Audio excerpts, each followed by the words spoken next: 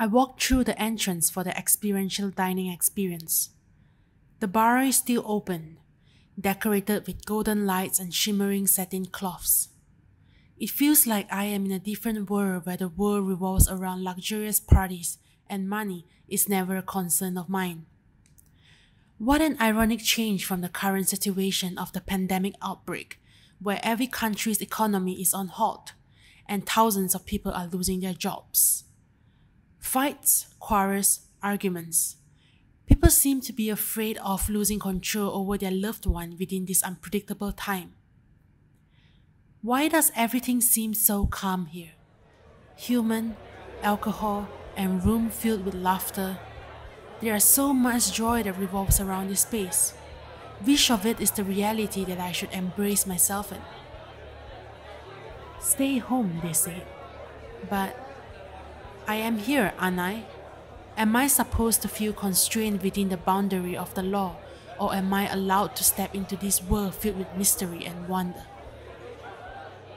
Champagne, miss? Oh, yes. Champagne, please.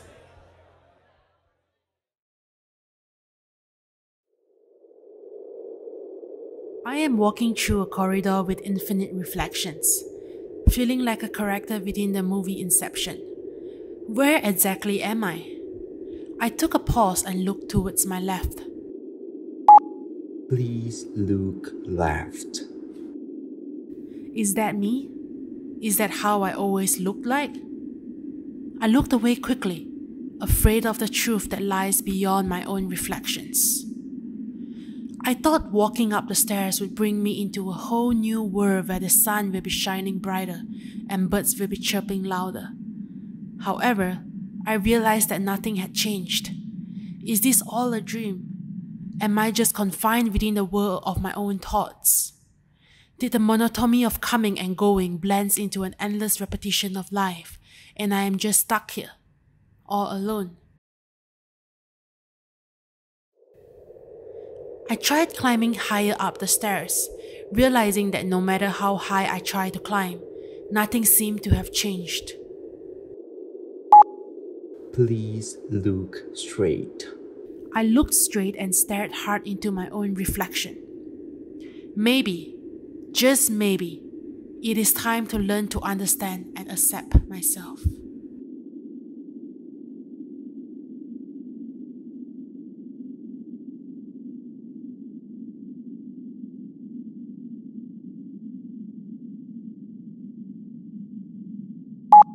Please sit on the chair in front of you.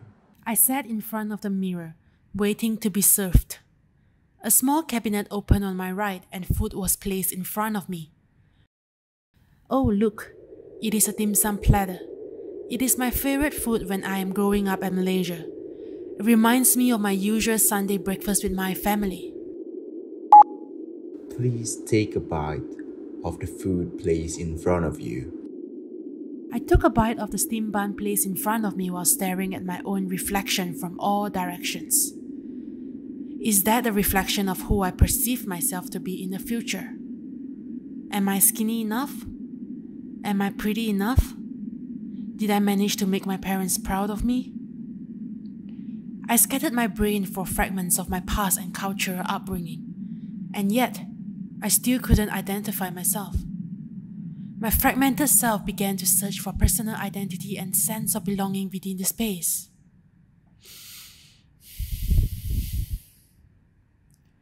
I took a deep breath. Am I here to search for an answer for the decisions I made in my life? Or am I just here to take a break from the chaotic reality?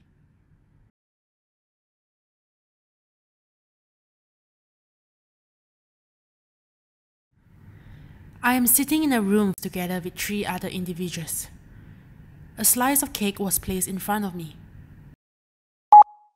Please take a bite from the spoon in front of you. I took a bite of the cake. Oh, it is not what I think it is.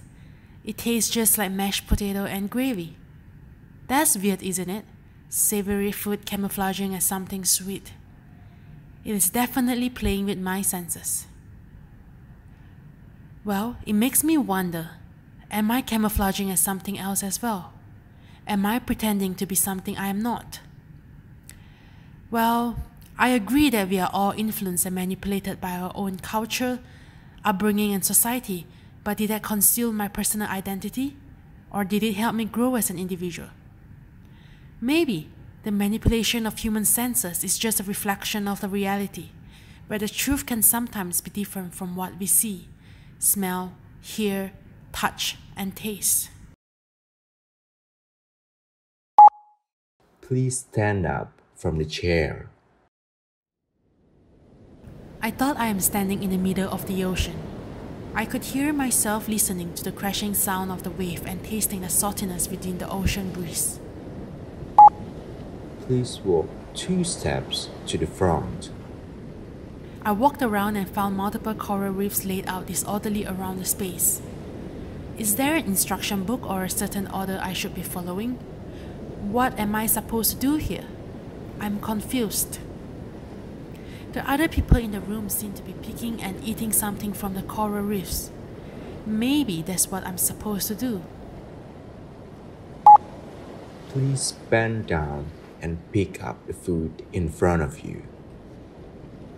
I picked up a pearl looking item and popped it into my mouth just like everyone else around me. Hmm, what is that? Is that pistachio I am having? That is definitely a delightful bite. Please look at your right. I looked towards my right and saw a projection of the making of profiteroles. I never knew it took so much effort to make a bite of food which basically disappeared in my mouth within seconds. It is a wonder how much time and hard work an individual take to create a beautiful bite for the enjoyment of others. I should learn to be more appreciative and grateful to the beautiful things and wonderful moments in my life. The environment shifts and I realize that I am now walking through a forest. Well, that experiential dining experience definitely managed to highlight the manipulation of human experience through culinary and dining environment in order to intensify human psychological implications. It seemed like in this experience, I became my own subject. It taught me to ignore the limitation that was placed by the society we live within. I may have been quarantined at home for the past month and separated myself from the chaotic world, but I also managed to distinguish myself from the unrealistic society expectations. I learned how to embrace every flaw and imperfections within myself and found a way to restore my own morality and personal identity. Just like the forest I am walking through right now, I managed to find beauty within the physical parameter of virtual reality spaces through the use of culinary art. Stay home, they say, and stay home I will.